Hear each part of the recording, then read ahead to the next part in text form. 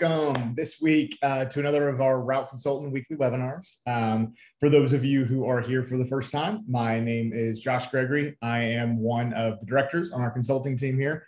Um, so, for all of our regular attendees, welcome back. And if you've never been to one of these, uh, we do try to have a lot of fun here. Um, we will do and go through some content first, and then after that, Bridget and I will open up a, a live Q&A where we will answer as many of your questions as we can possibly get through in the time.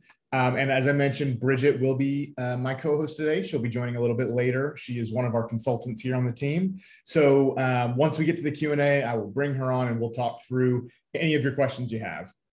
Um, before I get started, though, I do have to read the uh, boring disclaimer, but I have to read it every week. Um, Route Consultant is not endorsed by and is not recommended by Federal Express Corporation and FedEx Ground.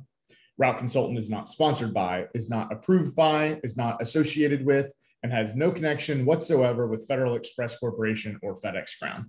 Uh, so all that means is that you're not going to hear any sensitive, uh, non-public information here. Um, but we do want to make sure that you get some valuable content and get your questions answered, and we will try to have some fun. Um, uh, before we get to that, though, there are a couple of upcoming events that I just wanted to highlight quickly. So, um, for new investors, we have a virtual summit coming up on July 7th and an in person summit in our offices here in Nashville on July 28th. So, if you have never attended one of those, it is a full two day experience to immerse you in as much as we can about the FedEx industry to really help you make the decision as to whether or not this is the right business for you. So, uh, I would encourage you to come out to one of those if you haven't been to one. Um, and then for all of my contractors here, we have our big annual Expo Summit and Party coming up on August 20th and 21st in Las Vegas. Uh, last week, Spencer walked through some hints of what you can expect at the Expo this year. Uh, so go ahead and watch that webinar if you want to hear more about it. But I hope to see all of you there uh, in a couple of months now. We're really close. Um, and then before we get into it, the uh, as you know, what we do every week here um, in order to answer one of your questions, you have to first answer one of ours. So, uh, the question of the week this week is What was the very first movie that you ever saw in theaters and who took you there? Um, so, when we get to the Q&A section at the end, first answer that question of ours uh, and then submit your question. And when you are submitting that question, put it in the Q&A section at the bottom, not the chat. If you put it in the chat, we will miss it. So uh, just make sure to answer our question once we get there, and I'll remind you of the question once we get to it. So um, before we get to the Q&A, last thing is just going over some content for this week. Um, so we are very quickly approaching the end of the year, uh, and with that comes the holiday peak season, uh, which can be one of the most profitable times of the year, and for many, it can also be one of the most stressful times. But as we get closer to peak season, um, we will do a few different webinars on tactics to prepare and be successful. But today, I wanted to spend a little bit of time going over the timeline and then both what buyers and sellers need to be aware of if you want to have a successful acquisition in the FedEx space before the end of the year. So, um, first, just a, a, quick overview for any of you who may not be familiar with uh, when the peak season starts and ends or what it, what it is. Um, so the holiday peak season, um, as we it, basically the end of the year that typically begins around Black Friday. Um, and that's the point where you'll see the biggest volume bump is around Black Friday. Uh, and it'll continue on through the end of December. Um, I will say in recent years, you'll probably have seen a lot of businesses who start those sales a week or even two weeks earlier than Black Friday now. So we're starting to see peak season start even earlier. Um, but just in general, when we refer to peak season, we're really mostly talking about the last six to eight weeks of the year that are kind of bookended by Black Friday and Christmas. Um, and, and to clarify, when I'm talking about peak season here, it's mainly for P&D. Um, for line haul, there is increased volume available during this period of time. Um, so you can prepare additional resources and you can take advantage of that volume, but there just aren't the same contractual requirements of you as a contractor that we see on the P&D side. So a little bit less stressful. There is still additional volume and, and uh, profitability to capture in that time period. It just looks a little bit different in terms of what you're required to do. Now, holidays uh, may seem really far away, but those months are going to disappear. so, uh, for those of you who are looking to get into this industry for the first time um, as buyers, there's just a couple of things that I want you to consider from a timeline perspective. Um, so, as a reminder, once you get to the point where you have interviewed and passed that interview, uh, it's still going to take about six to eight weeks before you'll get a stand up date and close. So, um, the closer we get to peak season two, the more selective terminal managers will be about who they'll approve.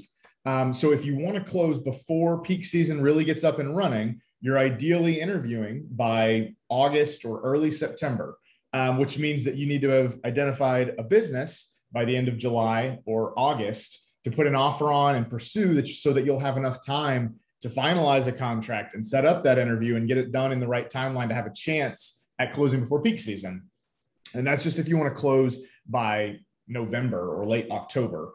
Um, ideally, you're closing before that and trying to accelerate that process as much as possible so that you can learn the business uh, and get your arms around what daily operations look like before the craziness of peak volume really hits and begins. Now, I don't want this to be a huge doom and gloom scare tactic thing here um, that you're running out of time, but I do want everyone to be aware of that window so that as it begins to close for an acquisition, you are doing everything you possibly can to be ready to move quickly when the right deal comes.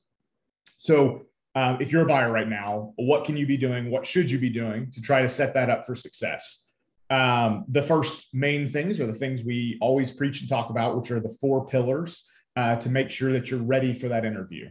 So, um, first is just finishing your RFI, uh, the request for vendor information. It's really the business plan that you'll need to submit to FedEx uh, in order to set up that interview. So it's a kind of a combination of a um, resume type structure, but also a business plan emphasizing what you're bringing to the table and your plan to make sure the business is successful. And you really want to nail that down as soon as you can, um, because you can do that and really do most of it before you've ever finalized what deal or business you're looking at. Um, so that's something you can be working on immediately. And then the closer we get to peak season, really honestly, as soon as August or and and it's it doesn't even hurt to start on this in July. But if you're interviewing as we get closer to peak season, um, it's important to start to put together a true peak plan um, that puts on paper what your plans are to be successful around hiring um, and around adding extra vehicles for peak season and really putting that down to show that you have a plan in place to be successful for peak season. Um, and, and if you want an example of what those peak season uh, templates are that we put together for interviews, just reach out to the team. We can send you an example. But the closer you get to peak season, the more you need to prove uh, in the interview and in your RFI that you are ready and capable to be successful during this most important um, and, and really one of the, the highest volume times of the year uh, to comfort and give confidence to that terminal manager. Um, the next thing you want to be doing uh, is as much as you possibly can to secure or have a, a proper financing plan in place. So whether that's freeing up additional liquidity, uh, converting your retirement funds to a ROBS, a, a rollover for business startups, um, or speaking with as many banks as you can to get any kind of pre-approval that they will give uh, of basically making sure that they have your information so that all you're waiting on is the deal information to input and get the financing in place to really help accelerate your timeline around a purchase and knowing what you potentially have available to make that purchase once you found a deal. Um, you'll also want to go ahead and get incorporated as either an S Corp or a C Corp before your interview. It is a requirement for that interview step. Um, and the S and C Corp are the only designations that are allowed for incorporation with FedEx. And then the last thing is to just either have a contract drafted if you're working on your own, um, or review an existing contract. If you're working with us, we have an asset purchase agreement that you can review at any time. Um, if you're working with another broker, they should have something similar available as well.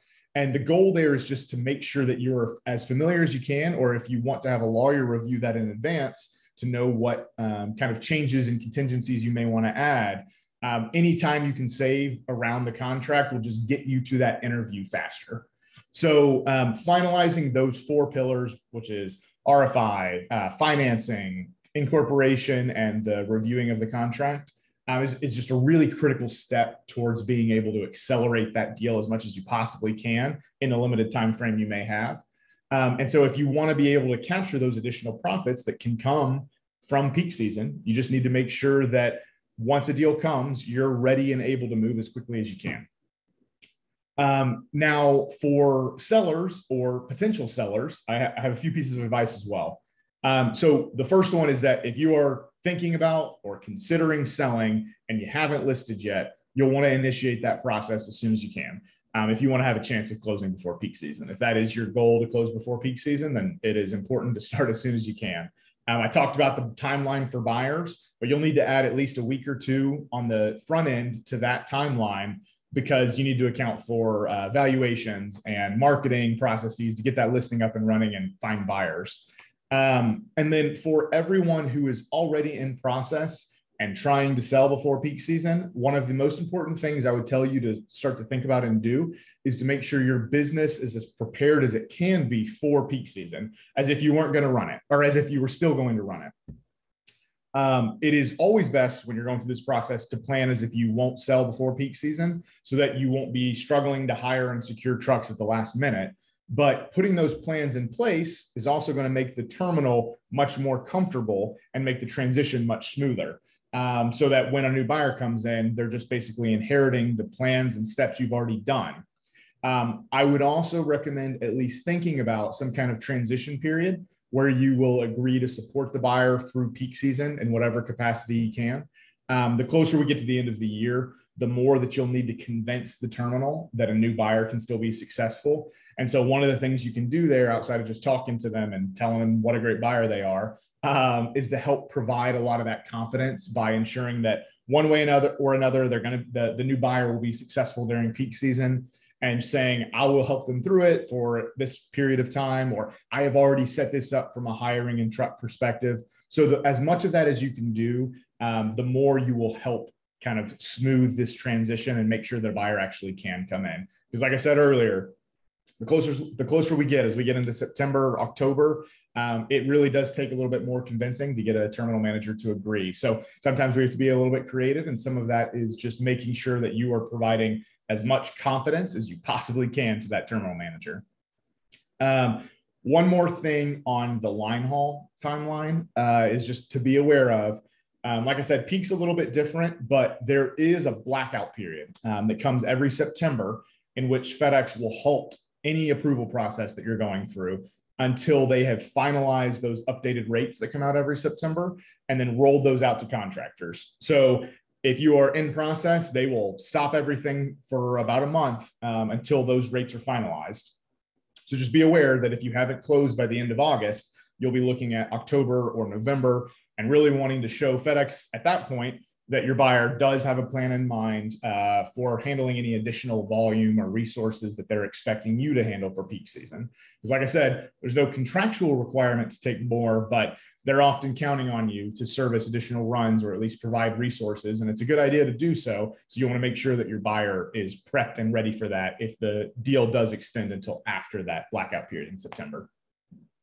Now, again, none of this is here where I am trying to scare anyone. Um, what I'm trying to do is just make sure that everyone is aware of the urgency that you really need to be thinking about if you want to close this year and really set yourself up well for the first holiday season.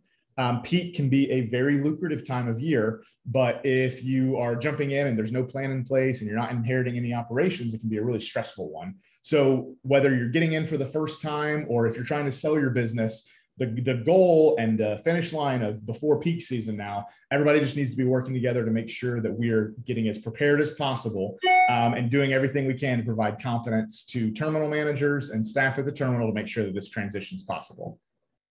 So uh, that's it around that timeline. Um, and I'm sure people will have questions about it when we get to the Q&A. But first, we are going to jump into the inventory for this week, and then we will answer any questions you have for today.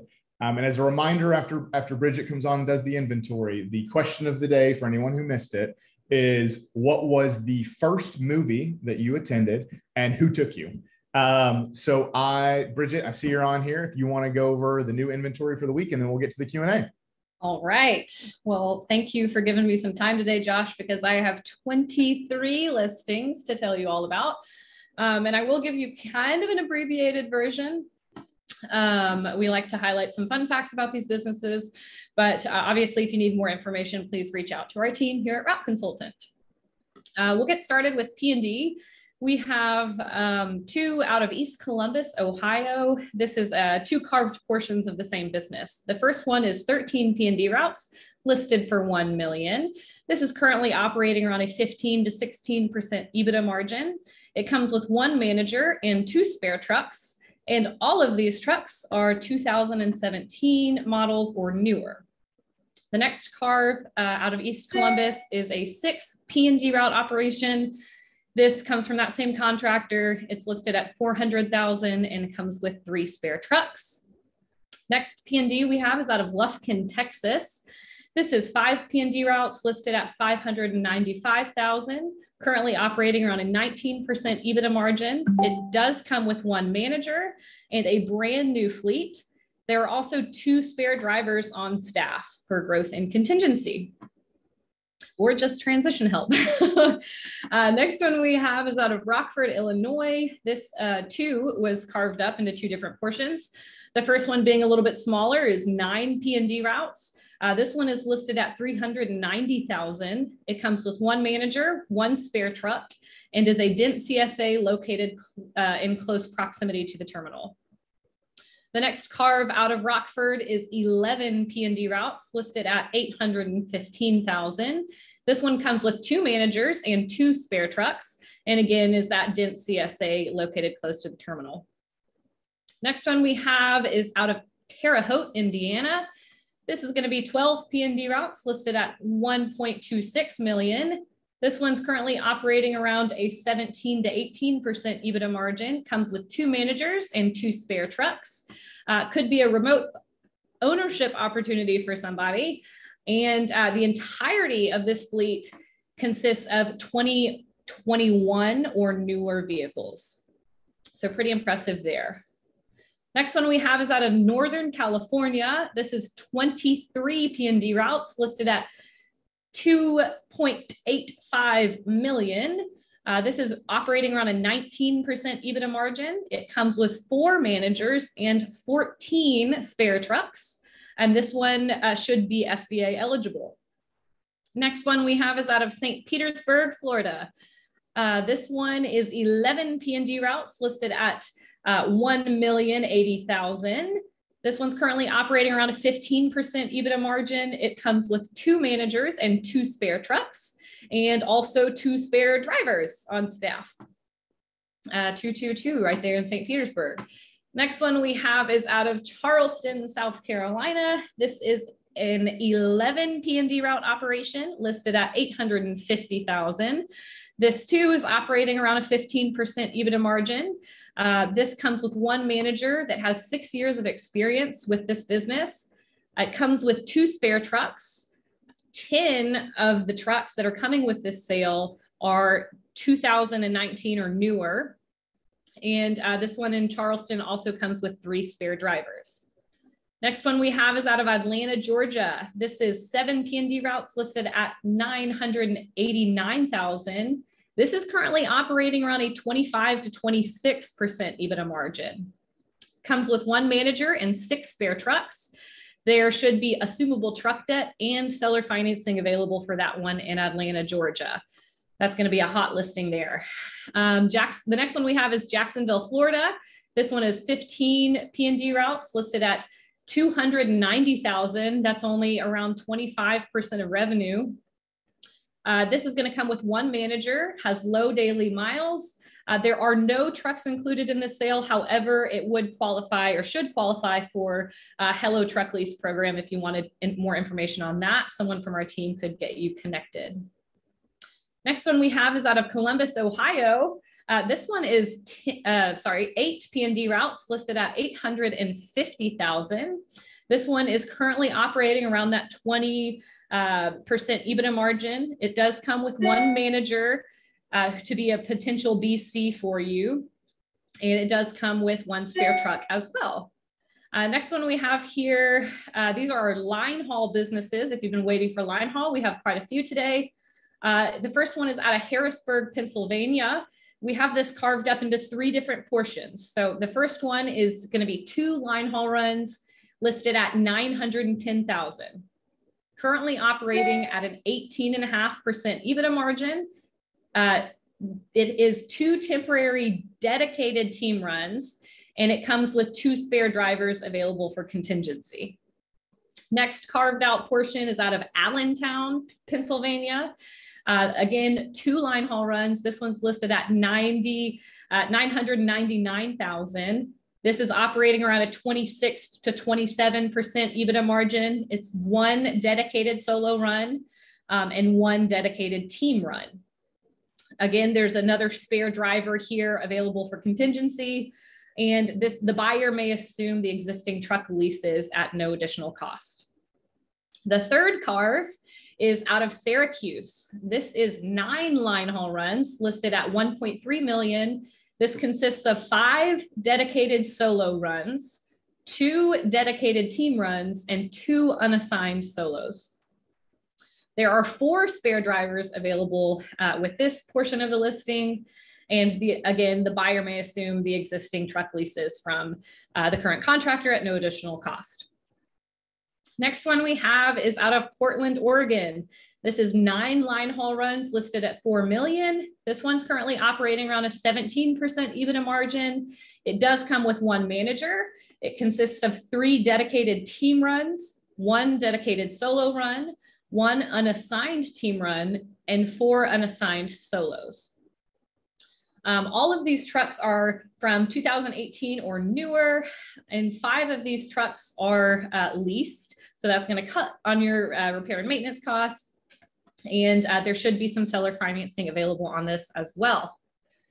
I feel like I'm an auctioneer. Am I going too fast? okay, we're down to the very bottom, guys. Hang in there with me.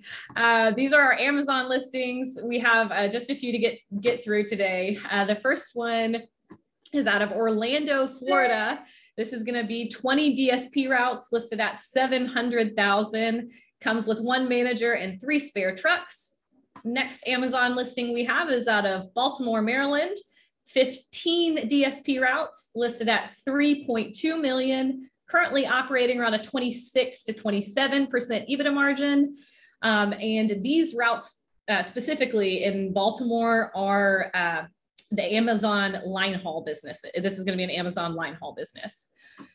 Uh, next one we have is out of Michigan. This is going to be 40 DSP routes listed at 2.5 million, currently operating around a 19 to 20% EBITDA margin. It does come with four managers and one spare truck. Next one we have is out of Southern New Jersey. This is going to be 20 DSP routes listed at 1.55 million. Uh, this is right around a 17 to 18% EBITDA margin, comes with two managers and four spare trucks. Out of the greater Charlotte area in North Carolina, we have 25 DSP routes listed at 1.9 million. That's uh, operating right now around a 19% EBITDA margin. It comes with two managers and 12 spare trucks just in case. Uh, next one we have is out of Houston, Texas. This is 35 DSP routes. This is listed at 1.5 million. It comes with one manager and is an efficient operation with multiple managers in place to run the daily operation. And the last one we have here is out of Metro West Boston, Massachusetts.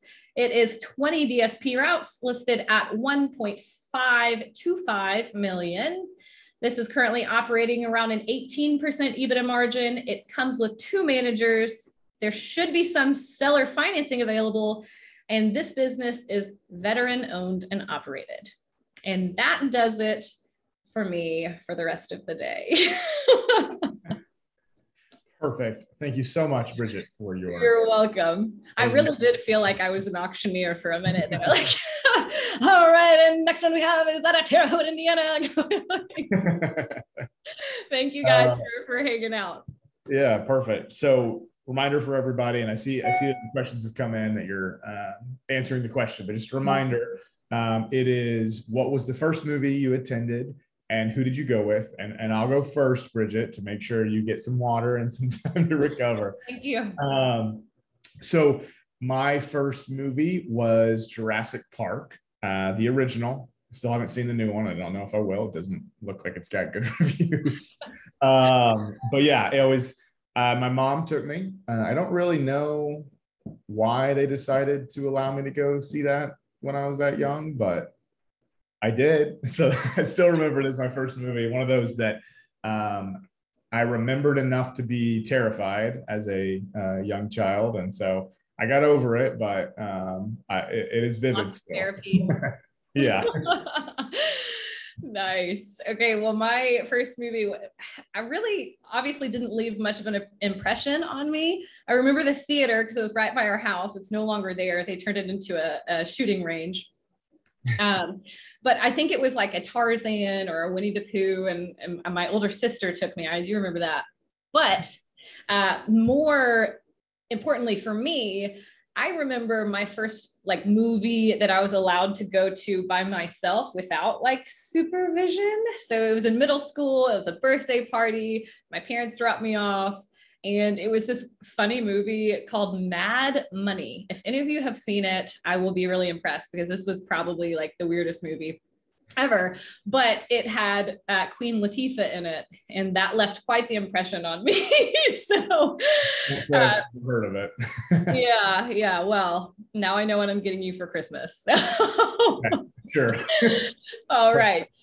Well, we can get to the Q and A now and see uh, what kind of movies you guys were uh, interested in back in the day and what kind of questions we have. All right, we'll get started with one from John.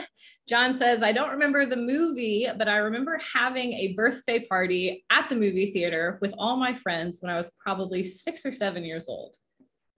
Okay. Yeah, same with me. I mean, I can tell you the color of the carpet and everything, but I don't remember exactly what that first movie was. Um, he wants to know how does uh, Route Consultant recommend new contractors uh, with less than four months of experience as a contractor to fight for renegotiation when we don't necessarily have all of the history of expenses and obviously things are rising, uh, costs are rising. Any thoughts? Have you all seen any new contractors uh, be awarded renegotiation? Um, the P&D manager recommended getting receipts from the previous owner around the time our contracts were uh, negotiated. So do we have any kind of insight here for re renegotiation? Yeah, yeah, because I mean, the tough thing is that you're trying to provide as much data as you can. So you're not going to have too much at less than four months, but you may even be able to just show the difference in prices from when you started to now. So even that difference could help in the renegotiation. It's definitely good advice that if you can get any kind of, and even if you have P&Ls from the initial acquisition on what the cost line items were for things like fuel uh, or payroll, there, there may be at least some manner of difference you can show by comparing the previous business to yours. Um, but you're just trying to provide as much data as you can. I have seen contractors who are newer. I don't know if I've talked to anybody who's been as new as as three months and do a re- and even attempt a renegotiation. I can't say that I've seen any rejected or accepted because I don't think I've talked to anyone who's tried it that early in their first contract. Um, but really, the name of the game there is just trying to show as much data as you can. And like I said, it, it may even be that from three months ago, it may be that fuel's already risen a couple of dollars. So you may be able to at least show that difference just in the time you've had and you're just trying to put together as much as you possibly can around that data. Great. Uh, next one we have here is from Christian. Christian says, I watched the first X-Men movie with my family and friends for my birthday classic. We love X Men. Uh, Christian wants to know Can prospective contractors or investors attend the expo in Las Vegas? If so, should I sign up as a guest contractor? So, we do try to keep this to a contractor only event. Um, I will say that if you are in process on a deal and you've gotten past the interview and are close to a stand up, we'll sometimes allow you to attend and make exceptions. But this is something where we do want it to be for contractors designed around um, giving advice and helping coach around the future for these new contractors and providing a celebration. So um, we may make exceptions, but it just depends on how far you are in the process. So if you're still really early, probably not until next year. But if you've made some progress, you're past the interview stage, reach out to the team and we'll see what we can do. Right. Uh, next one we have here is from Will. Will said his first uh, movie theater experience was Jurassic Park with his dad. Well, Will, we have that in common. um, he wants to know how realistic is it for someone with a full-time job to own a P&D route um, as purely an investor, assuming there is a competent manager involved. In other words, what would you say is the minimum amount of hours um, of commitment per week needed by an investor owner to continue the successful operation? Obviously, it can vary route to route and depending on uh, the time of the year.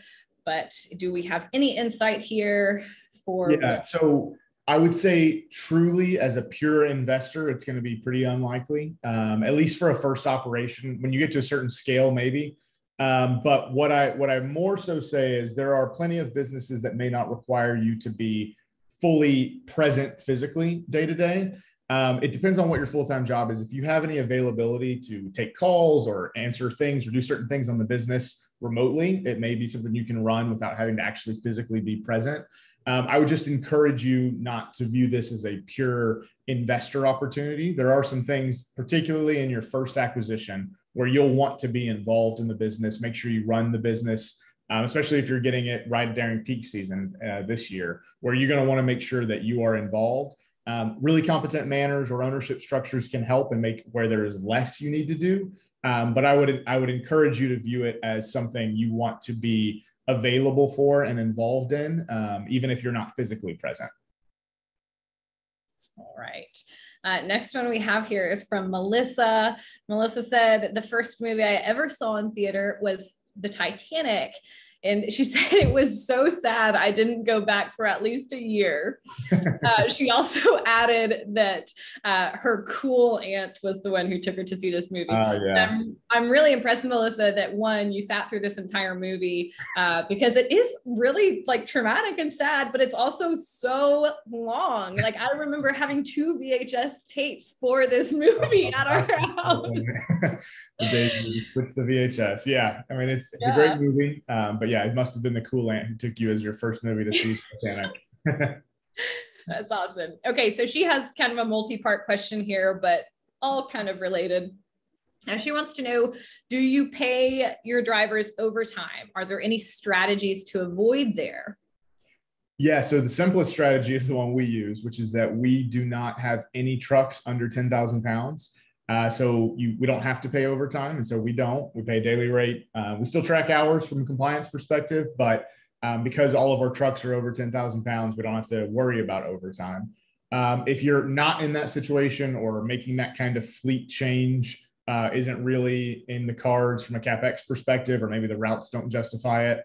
Uh, your main thing there is trying to make sure that you're structuring routes and scheduling properly um, and kind of mapping it out from a weekly perspective so that no one is ever going above 40 hours. That can be difficult to do. And sometimes that can be something that we will incentivize our BCs around of saying, hey, um, I'm trying to avoid any overtime. I need you from a scheduling uh, and routing perspective to try to make sure that every driver stays below 40 hours. And if you can do that, we'll give you a bonus. And so there's things like that you can do if it's something that's not in your skill wheelhouse. Um, but that is it's something that you're kind of going to have to play with, and it may vary week to week what you have to do, but it's something that will have an impact on payroll if you can avoid uh, overtime. Okay. Um, a follow up to that do you guys give PTO? If so, how much? And do you calculate it into your employment costs? And then, yeah. kind of related to that, too, do you ever have drivers share trucks or split shifts for efficiency? Yeah, so we we do have PTO. Uh, it'll vary based on the driver and the tenure, uh, and we do calculate that as a part of a payroll cost that we're looking into. I mean, when we're calculating overall payroll, we kind of include that number, um, especially when we're projecting it. So that is a part of business. We we do find drivers really value PTO, and it can go a long way towards retention um, from uh, drivers sharing trucks or splitting um, shifts for efficiency. We do have drivers who will sometimes share trucks. Like that's not something uh, we, we, you know, we try to keep consistency so that drivers are comfortable in their trucks. But um, a lot of times we have multiple trucks that are of the same type, so it's not a huge issue to change it. Um, and so sometimes those trucks do change. Sometimes we do have uh, drivers who share trucks, especially if we have anybody who's part-time only on the weekends. Um, and if you're referring to having two drivers in the truck, like from a helper or a jumper, Um, we don't do it often. Uh, the only time we really do it is if it's on a, a heavy mall route, we might look at something like that. All right. Uh, next one we have here is from Diana. And Diana says, My first movie was Scream with my mom. The attendant told me people would walk around and scare other people. So I was on the lookout the entire time. Oh, um, I probably would have walked out of the movie. Yeah. Talk about trauma, uh, scaring uh, oh, someone for their first movie. and yeah, Bridget, yeah. I know how you are with scares, so that would not have worked out well. Yeah, um, I'm, I'm, pretty pathetic. Uh, okay, so she has a, a two part question as well. First one uh, with holidays come theft and robberies. What happens if a driver is held up since the anti theft won't allow someone to take a truck? So, in terms of what happens, um, hopefully the try hopefully the, the robber just kind of leaves when they realize they can't steal the truck. A lot of that is kind of designed around um, trying to prevent some of that. Um, so hopefully that's the result. Um, 911 gets called, I'm sure. Um, but the idea is that that anti-theft discourages um, holdups because they realize that they can't actually steal the truck and steal the packages. Um, so that it could be that they still hold up the truck and steal the packages, at least some of them kind of carrying them away instead of actually taking the truck. But that gives you more time for um, something positive to happen or for police to show up. So uh, it's still a positive. Um, yeah. Yeah. And you can correct me if I'm wrong, Josh, but I think in some cases, FedEx will provide an armed guard. Um, You're in an area that has kind of a proven issue around um, security, then there are um, certain routes that FedEx will approve and pay for an armed guard in the truck. Um, so it's rare. It shouldn't, hopefully, it's not something you'll have to encounter, but in the areas where you still have to deliver packages and it still has to be something where you've got to get that truck on the road, there are some cases where FedEx will provide that. Absolutely. All right, a follow up from Diana. Uh, she says, I'm starting the process now to purchase P&D to prep for peak season, should I look into renting extra trucks right away instead of Hello Truck, uh, since they'll only be needed for peak season, depending on what the current fleet is? So it's definitely going to be a function of the current fleet. Um, also, Hello Truck, you know, the leasing model does depend on the density of the territory. Um, but what I would say is if you're inheriting a fleet where you are anticipating that you're going to have to buy trucks um, or make some truck changes, then it may make more sense to go ahead and add those trucks now before peak season and then just use the current fleet plus extra trucks. And then maybe you keep those extra trucks as spare after peak or you sell them. Um, but if you've got a current fleet that's enough, um, you're probably just going to be uh, renting extra trucks because unless you're expecting huge, massive growth uh, in the beginning of the year, you're most likely going to be um, just renting trucks for temporary volume through those last eight weeks of the year. Yeah, um, okay, next one we have here is from an anonymous attendee. Uh, their first movie was Snow White and the Seven Dwarfs. Uh, they said they went with their mother, their aunt, and cousins. That's that's a good one. Uh, they want to know what is the incremental revenue or volume that should be expected during peak. It, it, it's really variable depending on the territory. Um, we see some that are as high as 30% um, increases in volume every week, or 50%, some even as high as 100%. But uh, the, the thing you will see is leading up to peak season, FedEx will provide volume projections um, so that you can kind of get a sense of what you can expect come peak season. Uh, and if you're buying from someone or if you've never run this territory before, uh, you can try to get settlement statements or at least an idea from the previous seller for what kind of volume bump they they saw during last peak season and that'd be the best way to do it. All right. Um, next one we have oh well this isn't a, a question yet at least um, from Faraz he says it's been a long time it was a long time ago. I don't remember the name of the movie uh, but i remember it was a comedy movie by bud spencer if you remember the name of it, uh, please let us know. um, okay, next question we have is from Riley. Riley says, uh, My first movie, which I uh, snuck into, was The Apocalypse. Um. And the question is uh, if a seller is selling routes with no trucks, what is the going rate of a lease truck? Do we have any figures on that? Yeah. So Riley, reach out to the team after this. We can get you actual figures, especially depending on the, the, the territory, because some of it is a function of the mileage driven by those routes, because there is a, a certain component that's a mileage rate. Um, but it is it is an ongoing, at least with Hello Truck Leasing. If you go to, I think actually that Danielle put the link in the chat um, where you can go in and see some some uh, material on it. But it is it is a, a full service lease that includes repair and maintenance, and it's a three year lease. So um, that's what I would advise if it's possible, um, especially because used trucks are still going at a premium right now. So if you're trying to have a um, and pick up a full fleet um, and and the mileage makes sense, the leasing model works really well because you can get them quickly and you don't have to pay for an entire fleet of capex on day one. So that's I'd look at it. We've got the link, but if you need more questions, just reach out to the team and we can get you details on that. Okay, Great. Um, and we did have a question from Faraz, um, actually a little bit lower. Um, Faraz was the Bud Spencer movie. He wanted to know, uh, do we have any idea about today's SBA rates for line haul? And I'd just expand on that for, for P&D too. Um, do we have any idea of what that is? They they are increasing. Um, so it, it's it depends on the bank, depends on the deal, but uh, I'm seeing as high as eight or nine percent now, um, and I wouldn't. It could even get higher in the future as the uh, the rates keep getting increased by the Fed. Um, but right now, that is about where it is, and yeah, it's the same for line haul or P&D. Okay. Okay. Great. Um, next one we have here is from Edward.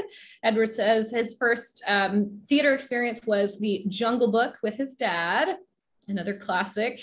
Um, he wants to know what would be better when buying a, buying a route with no trucks at a cheaper price or buying a route with older trucks that have maybe more than 200,000 miles or higher on them. Okay, so two factors to think through. Um, the trucks, the, the fleet or the uh, business with no trucks, you can kind of compare the cost difference. So if it's $100,000 more to buy the truck or to buy the business with trucks um, versus buying them without, you, can, you, you probably should look through and see what kind of prices you can get for that number of trucks and kind of compare that cost breakdown. But the biggest thing in determining how valuable those 200,000 mile trucks are uh, is knowing the mileage of the territory.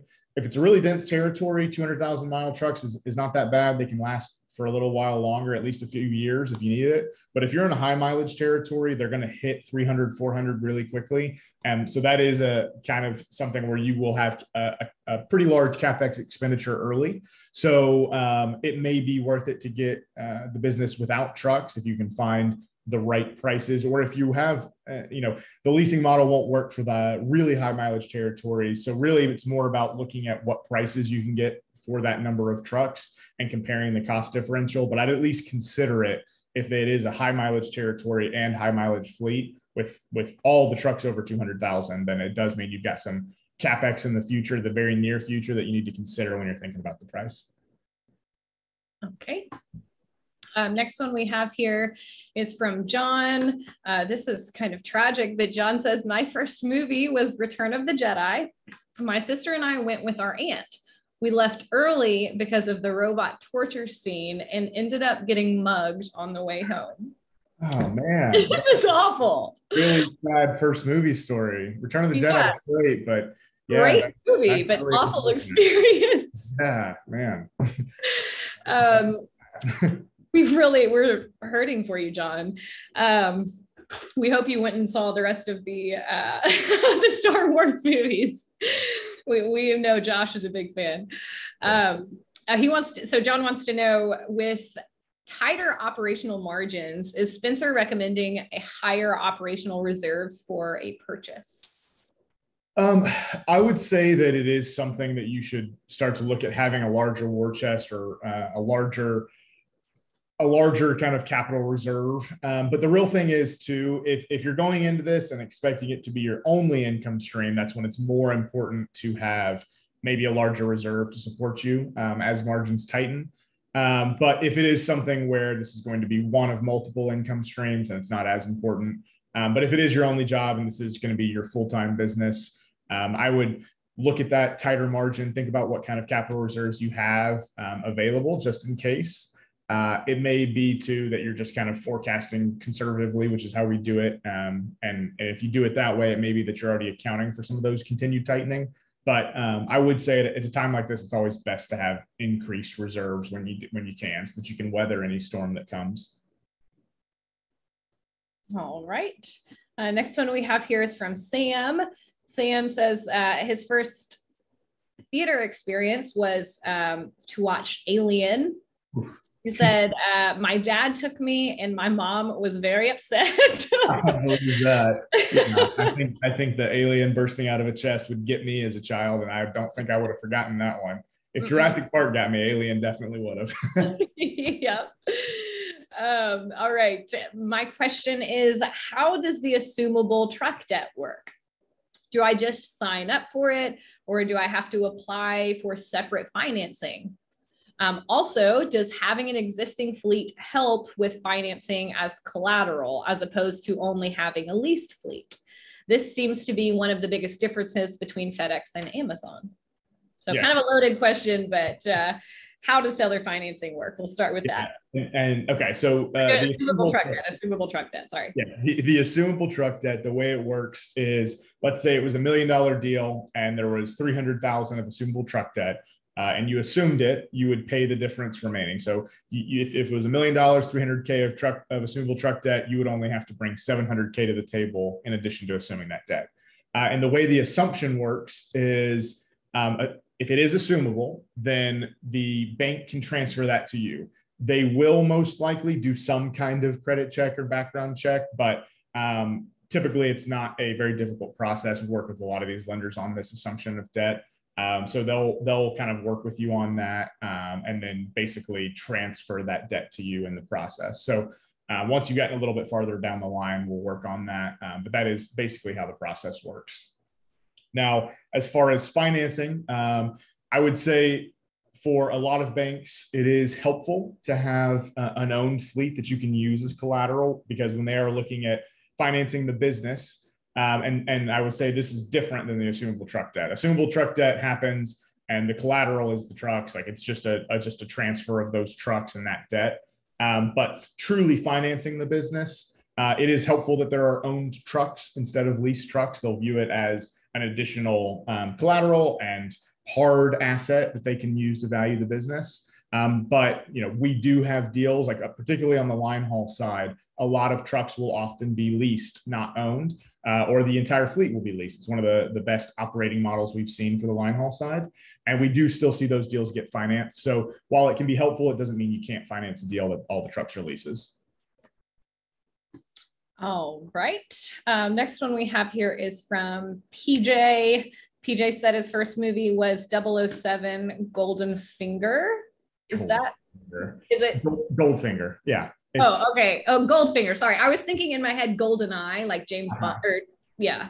Is Which that is also 007, same thing. It's 007, yeah, yeah. You know, 007. On knowledge is limited. Bridget, it's fine. It, it, I'm sorry. Yeah, y'all have to be patient with me here. Uh, and he said his parents took him to go see that. Okay. He wants to know, um, and I don't know where he got this information, but he said, I'm told that as a current 33 year year FedEx employee, I cannot own routes. Can a current employee simply be an investor or maybe an advisor with managers in place? Yeah, so if you are a FedEx corporate employee, um, then they typically will not allow you to own uh, routes as a contractor. So that is true. Um, and so you could be an investor, but not the authorized owner or authorized officer. So you can't be the one that the contract is actually tied to. You could be someone providing funds to somebody else who is going to be the authorized officer. And basically, you could just be a shareholder in that company. Um, but you would not be allowed to be the AO or the person actually with the contract tied to them. All right. Um, next one we have here is from Ram. Ram said the first Hollywood movie I saw um, or remember is Home Alone. He said, I, I enjoyed it and had a nice laugh. Yep. Um, I enjoy that movie every Christmas. Still. Um, okay, so contract renewal is due in December. Does it make sense to uh, have a contract renegotiation in September before the renewal? Um, does that have any kind of impact on um, the contract renewal in December if you renegotiate in September? I think that's how I'm interpreting the question. Yep, you you can try to renegotiate early, and I I'd probably try before September if you can. Um, the closer you get to peak season, the less likely they are to, to start a renegotiation process, just because there's so many other things going on. Um, but I, if you can, it's, and if they approve it, it's perfectly fine. And basically, you would have a new contract timeline, uh, set of year or two years from that standpoint. Um, so it would go from there as that new start date. Um, so it's perfectly fair to try. They may not approve you, but uh, it's not going to hurt you to attempt to renegotiate. Okay. Um, next one we have here is from Say. Say says, uh, My first movie was Signs with my friends. A lot of scary movies, you guys. um, I'm definitely a, more of the, the Snow White and the Seven Dwarfs type of genre. Uh, okay, question one, how do we know the true value of the fleet when the previous owner has mentioned a value in his listing? Is there any way to really like verify that? And then uh, number two, do we have to maintain additional drivers on standby? I guess like for transitioning. Um, yeah, what is so, our, our suggestion there? Yeah, so from value of the fleet, um, especially like if, you're seeing any listing, it's typically a fair market um, value. But the main thing we encourage strongly, it's built into all of our contracts, and you should, um, if you're not going through us, whoever you use, you should make sure it's in your contract as well. Is a formal fleet inspection before closing, where they'll actually go in and see if there's anything um, that's a part of the fleet uh, or any kind of uh, repairs that need to happen before closing, before stand up, that will help you on that valuation side. Uh, if you want, you can, you know, you can always take the VIN numbers and go to Kelley Blue Book and see what kind of valuation it puts there. And that could be a negotiated number. Uh, it just does have uh, tax and um, equity uh, impacts in the actual contract. So that'd be something to look at. Um, but it, it's something that if the valuation's off, sometimes it can be negotiated, but also you we do encourage the true inspection because um, we can't go in and see every truck. So that's why we really want you to make sure before stand up that you've had a mechanic look at it. Okay, awesome. Uh, we have a follow up question here from Christian. Christian was um, the X Men experience movie theater with the family. Um, he wants to know Is it typical for contractors to own the land where they park their vehicles? or what percentage of contractors actually park at the terminal? And then two, do you know what percentage of contractors own versus lease their vehicles? So it is very rare to see any contractor who owns the land um, separate from the terminal. Almost all contractors park all their vehicles at the terminal. It's free to do so. Um, I know a, a, very few number of contractors who actually own the land, and in some cases almost act as like their own terminal, but that is very rare. The vast majority park at the terminals and do it for free. Uh, and what was the second part of the question? Oh, uh, most, I would say most contractors own. Um, before Hello Truck Leasing, we always owned, but uh, because most leasing models didn't really make sense for the FedEx space, um, there are plenty of contractors who've moved to Hello Truck over the last year or two um, because it is something we've designed as a way as to really be attractive, and it also gives a lot of flexibility since those leases will easily transfer to a new buyer, and uh, the coverage repair and maintenance make, makes things really consistent. So there is a growing number of contractors who have moved to leasing, but you know, a few years ago, there wasn't really an option that made sense. So there were there were only a few people who did it just because you could still get some full service leases. They were just really expensive to do so. But some people did it just for the the ease of making sure that their repair and maintenance was always covered. Okay. Um, next one we have here is from Melanie.